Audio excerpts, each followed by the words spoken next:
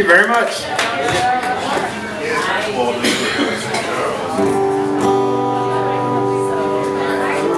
All right, this next song is called Appaloosa.